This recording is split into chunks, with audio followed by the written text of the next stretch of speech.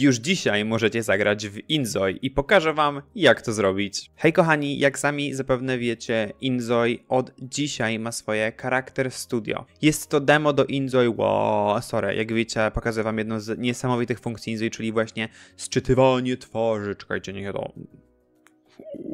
No, Okej, okay. przestańmy. Także przejdźmy sobie teraz do tego, żeby pokazać Wam trailer tego dema i przejdziemy sobie przez tworzenie postaci w Inzoi krok po kroku. Inzoi zapowiedziało tak zwane Character Studio, czyli miejsce, w którym Wy będziecie mogli tworzyć swoje postacie do Inzoi właśnie. Będzie to demo do Inzoi, w którym będziecie mogli stworzyć swoją postać i będzie ono, a raczej już jest, bo od dzisiaj, od 6 rana jest ono możliwe do pobrania na Steamie i możecie robić tutaj niesamowite rzeczy. Dokładnie. Jak widzicie, od 21 sierpnia, od 4 AM UTC, to jest taki standardowy czas. Dla nas to jest 2 godziny na czyli u nas od 6 rano do 26 sierpnia, również do 6 rano. Także śpieszcie się i grajcie więcej szybciutko. No dobrze, to jak już widzieliście demo, to mogę z wami w końcu poznać o tworzeniu postaci w Inzoi i o, kochana, jesteś lekko szalona. I możemy pogadać o tym, jak ten proces wygląda, jakie mamy tutaj możliwości i pokazać wam kilka rzeczy, które według mnie są game changerem w Inzoi i są naprawdę jedną z bardziej niesamowitych rzeczy, które zauważyłem w tej grze. By the way, chciałem wam coś pokazać. Zobaczcie moją koszulkę piękną z Saikatem. No tak ona wygląda. Także Inzoi razem jest w tym miesiącu totalna. Pierwsza funkcja, którą wam pokazałem, to jest facial capture, czyli tak zwane łączenie się z waszym iPhone'em, z waszym telefonem, w którym możecie się połączyć. Ja mam go teraz w ręku. Możemy się połączyć, jak widzicie. I normalnie nasz Zoi będzie używał, jak widzicie, po prostu tego, co my mówimy i będzie naszą twarz po prostu powtarzał jakby to i na żywo czytał to, jak nasza twarz wygląda. Jest to niesamowite. I to jest jedna z tych funkcji, które mamy w Inzoi, a drugą funkcją, do której chciałbym przejść, e, która jest najbardziej według mnie zaawansowana, to jest samo tworzenie twarzy. Natomiast najpierw e, możemy sobie patrzeć na różnych, e, różne zojki tak naprawdę, które zostały tworzone tutaj przez Inzoi. Tutaj na przykład mamy sobie Billie Eilish i inne przeróżniaste zojki różnej koloru skóry, różnej urody. Jak widzicie, o, ta jest śliczna. I po prostu jest tego niesamowicie, niesamowicie dużo i wy już teraz będziecie mogli możliwość mieć tego po prostu przetestować, więc przy okazji zobaczycie jak ta wygląda, ta gra wygląda na waszych, wiecie, ustawieniach. O, ta jest super Zojka. No niesamowita to mamy sobie taką Billie Eilish w jasnych włosach. I kolejna rzecz, która jest bardzo dla mnie w Inzoi ważna, to jest sam kreator tworzenia postaci, jeżeli chodzi o możliwość modelowania twarzy. I może samo modelowanie twarzy już znamy z Simsów i tak dalej, prawda? Natomiast y, tutaj mamy również mod detaliczny i jedna rzecz, która mi się podoba najbardziej, to to, że mamy mod symetryczności, więc możemy sobie zwiększyć nos z jednej strony, zrobić smutniejsze usta z tej strony, z tej strony troszeczkę przymrużyć oko wiecie, ludzie mają jakieś niedoskonałości. Niczyja twarz nie jest w 100% symetryczna, no bo ja na pewno nie, jak widzicie zresztą. Więc to mi się strasznie podoba, że możemy totalnie nie patrzeć na to symetrycznie. Możemy zresztą wejść do tego bazowego modu i również na przykład tak palić się szczęką. No i dzięki temu ta twarz wygląda po prostu jakby była, wiecie, bardziej ludzka. Może nie wszyscy by tego chcieli, natomiast jest to bardzo ważne i ja uważam, że bardzo potrzebne w ogóle w grach symulacyjnych, no nie oszukujmy się. Chciałbym z wami przejść również przez włosy, ponieważ nie wszystkie co prawda włosy, natomiast niektóre włosy mają możliwość, na przykład zobaczcie sobie na tej fryzurze, możliwość dostosowania długości tych włosów i na przykład skorzystam sobie ich tak i jak widzicie nawet zrobienia tego takiego delikatnego przejścia właśnie tego ucięcia na przykład. No ale kolejna bardzo ważna rzecz to jest to na przykład, że tak naprawdę możemy sobie, wiecie co, może nie te włosy zróbmy, ale te, że możemy tak dosłownie sobie zrobić po prostu włosy tęczowe, bo mamy tutaj e, koło kolorów i zobaczcie jak to się po prostu prezentuje. Możemy sobie do wyboru, do koloru jakieś włosy totalnie zrobić nie tak, już miałem to może jakieś żółte. I proszę bardzo, każdy jakby włos praktycznie tutaj jest innym pasmem i wygląda to, no to jest dla mnie duży game changer, no nie oszukujmy się, jest to niesamowite. To samo mamy z karnacją. Oprócz tego, że mamy różne presety skinów, jak widzicie, to możemy sobie na każdym takim presecie wybierać dosłownie każdą karnację, jaką chcemy, jak widzicie, ale również mamy bardzo, bardzo duży wariant, jeżeli chodzi o kolory, które już mamy przedstawione. Dzięki czemu będziemy tak naprawdę mogli tworzyć lepsze postacie i jeszcze bardziej realistyczne. Wiem, że dla niektórych to jest minus, ale dla mnie to jest zdecydowanie plus. Dodatkowo mamy kilkanaście ciekawych opcji twarzy, na przykład tutaj to miejsce, jak widzicie, tutaj się przypatrzcie, między brwiami się zmienia. Tutaj mamy bardziej uwydatnione policzki, jak widzicie. Tutaj mamy linię uśmiechu, jak widzicie, od uśmiechu one się takie potrafią zrobić. Tak samo mamy z bardziej zarysowaną szczęką, możemy sobie zrobić bardziej skin glow. Dla mnie to troszkę w niektórych momentach wygląda bardziej jak pot, ale tutaj wygląda to po prostu ważne, że to jest, powiem zupełnie szczerze.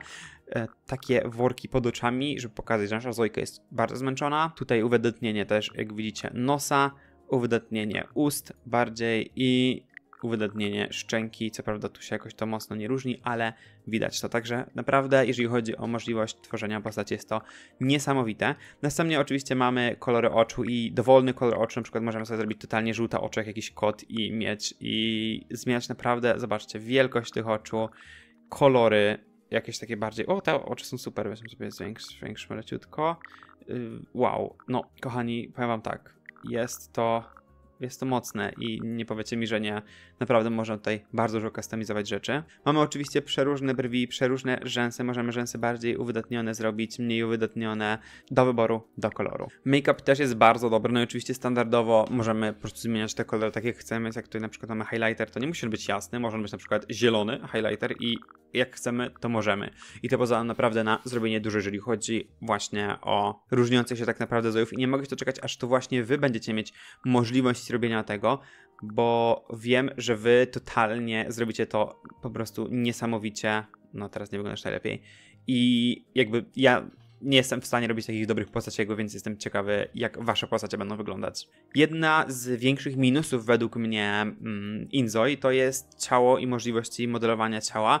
Te możliwości nie są wystarczająco według mnie duże. Co prawda możemy to, jak widzicie, bardzo dużo zmienić, bardzo dużo, natomiast to nadal nie jest to, bo zobaczcie, jak zwiększymy sobie jakby wagę ciała, no to ta waga nadal jest normalna, no nie? Tutaj nie ma jakby jakiegoś e, istotnego e, szaleństwa, więc ja bym chciał, żeby na pewno tutaj te suwaki, jeżeli chodzi o, o wagę ciała, się zwiększyły, żeby to było bardziej inkluzywne i żeby po prostu można było tworzyć jeszcze bardziej zaawansowanych zojów. Co mi się podoba, to to, że faktycznie zmienia się również przy, jakby wiecie, większej wadze twarz zojów, bo ta twarz w przypadku po prostu nabierania wagi też się zmienia u ludzi, więc to jest bardzo, bardzo fajne. Jeżeli chodzi o mięśnie, to jest tutaj jak najbardziej dobrze. Widać, wow, mocno zarysowane mięśnie, tylko te mięśnie też się bardziej jakby ta ręka się nie zwiększa, tylko te mięśnie się bardziej uwydatniają, więc to też nie jest do końca realistyczne. Nie będziemy przechodzić przez wszystkie outfity, bo ten film zająłby nam 40 minut, chyba że chcecie oglądać takie długie filmy z Inzo i to możecie powiedzieć. Natomiast pokażę wam takie outfity, które są naprawdę bardzo, bardzo ciekawe i bardzo mocne, bo są to te outfity, jeżeli chodzi o presety, czyli tak naprawdę pokazanie tego, jak my możemy te outfity zrobić, żeby one wyglądały po prostu niesamowicie sztosowo, więc tych outfitów jest strasznie, jak widzicie, dużo i na przykład ten, niesamowity. I naprawdę one są bardzo detalicznie zrobione. Zobaczcie, kurde, ten guzik w tych spodniach i to, że one są tak lekko odchylone, no to jest coś po prostu niesamowite. I to, to są rzeczy, wiecie, które są po prostu strasznie modne i to jest super, te guziki również tutaj odstają, no normalnie wow, jakie to ma tekstury, jakie to ma, to ile czasu nad tym zostało poświęcone, to jest super, no jakby nie mogę się tymi niektórymi rzeczami nadziwić, bo jest to naprawdę coś, co wygląda dobrze i zostało zrobione naprawdę bardzo dobrze, więc no tutaj naprawdę nie mogę w żaden sposób narzekać. Ja, wiecie, dam wam feedback bardzo e, po prostu szczery na temat rzeczy, ale wow, ten strój niesamowity. No ale kolejną rzeczą, o której muszę z wami ja ją na razie tutaj rozbiorę na sekundkę, to jest e, możliwość tak naprawdę jedna z bardziej po prostu niesamowitych, czyli tworzenia tekstur AI. Co to znaczy? Jeżeli chcemy na przykład sobie zmienić naszą koszulkę i dać tutaj, nie wiem, e, dużo bardzo małych kotków rysunkowych, to możemy sobie stworzyć taką teksturę właśnie dzięki sztucznej inteligencji. I wiadomo, nie będzie to idealne, natomiast tak naprawdę teraz to pokazuje, że to jest możliwość tworzenia. O Jezu, zobacz jakie słodkie. To jest możliwość po prostu tworzenia E, własnego. Wow, no to jest super koszulka. E, własnych modów tak naprawdę w grze, tak? Custom contentu, tak to wygląda. I to jest coś, czego po prostu to też jest game changer i można naprawdę wiele rzeczy dzięki temu zrobić, zmieniać, jak widzicie tutaj e, również różne różną skalę i tak dalej. Może nie na tym, na tym będzie tą skalę bardziej widać. Będziemy mieć większe kotki, mniejsze kotki, dużo tych kotków i tak dalej, pozmieniać się. No naprawdę kombinować można dowoli i praktycznie można tak robić z wszystkimi e, ubraniami, które mają taki, jak widzicie, mały tutaj znaczek AI. Czy to nie jest super? No, musicie powiedzieć, że to jest super. Tak szybko jeszcze wam przelecę przez wszystkie rzeczy, które tutaj mamy, żebyście sobie zobaczyli, chociaż na tej miniaturce i sobie zatrzymali. Zobaczcie, jak to jest w ogóle spodni. Wow, to jest niesamowite. Akcesory, jeżeli chodzi o skarpetki, mamy nawet jakąś bieliznę, ale to nie wszystko, jeżeli chodzi o akcesoria oczywiście, bo jak wejdziemy sobie w ostatnią tutaj opcję, to mamy akcesoria i mamy oczywiście miliony czapek, przeróżnych od beretów do Emily in Paris i tak dalej, okulary, oczywiście sam Harry Potter na przykład vibe, ale również w tym e, buildzie zostały dodane nowe paznokcie i tutaj możemy to samo sobie zrobić, na przykład mieć paznokcie w truskawki, jak sobie dodamy truskawki w AI, także do wyboru, do koloru. Ale to nie wszystko, bo również możemy skustomizować swój outfit, ja wiem, to jest, to jest po prostu szalone, co tutaj się dzieje, czyli zmieniać na przykład górę tego stroju, tutaj zmienić sobie rękaw na długi, a tutaj sobie zmienić na coś takiego e, i zapisać. Następnie, jak widzicie, mamy taki outfitik, możemy sobie dodać do niego teksturę AI kota, jak widzicie, i dzięki czemu mamy takiego kota i taką kotową po prostu bluzkę, więc to jest kolejny feature właśnie, który jest po prostu niesamowity i musicie mi to przyznać.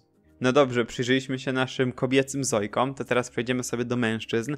Poka wow, stary, ale masz look, nie, no zarąbiste, widzicie, możemy jakby każdy, każdą część ubrania czy, czy włosów tutaj e, zojkom również zmieniać. No i oczywiście mamy bardzo dużo presetów, jeżeli chodzi o zojki, także tak wam pokażę to mniej więcej, jeżeli chodzi o overview, żebyście zobaczyli, jakie tak naprawdę tutaj mamy możliwości w tych naszych zojkach. Jest ich dużo, możemy tworzyć naprawdę każdego, mam wrażenie. I naprawdę naprawdę niektórzy wyglądają solidnie, powiem zupełnie szczerze, także tak jak mówię, no dzisiaj będziecie mogli już to przetestować, więc czekam na wasze po prostu e, tutaj pokazanie waszych umiejętności, tak naprawdę, tyle powiem. A tak, by the way, to jest Keijun, czyli twórca Inzoi, główny CEO. Jeżeli chodzi o włosy, to mamy takie same i u kobiet, i u mężczyzn, natomiast dodatkowo tutaj mamy e, wąsy i brody. Nie do końca jest to mój vibik, ale może komuś z was się spodoba taka broda na przykład. Nie, nie mój vibe i tak samo, o, e, no nie, no nie, nie, nie, mój, nie mój typ, co nie?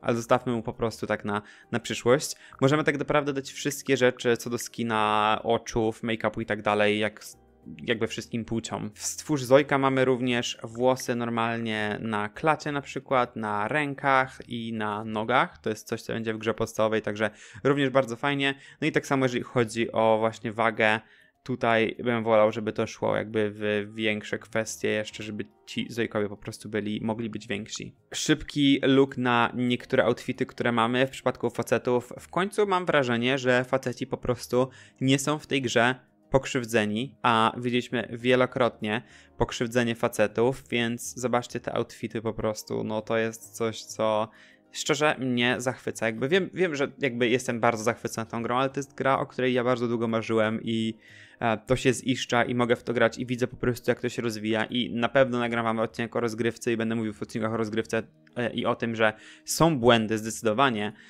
i są rzeczy zdecydowanie do poprawy w tej grze. Natomiast jeżeli chodzi o same tworzenie postaci, to myślę, że tutaj tak naprawdę dużo więcej nie potrzeba, bo naprawdę możemy bardzo dużo rzeczy robić już samemu i te rzeczy, które są już stworzone, są naprawdę wystarczające. Bo wow, zarąbisty outfit, totalnie bym go nosił.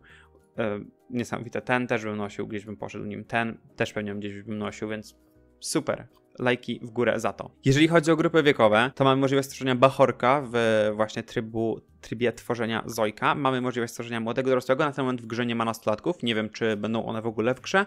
Dopytam się na ten moment, natomiast nie ma takich informacji. Mamy dorosłego, młode dorosły i dorosły się jakoś mocno nie różnią. Mamy osobę w średnim wieku, czyli tak pewnie koło 50, coś takiego.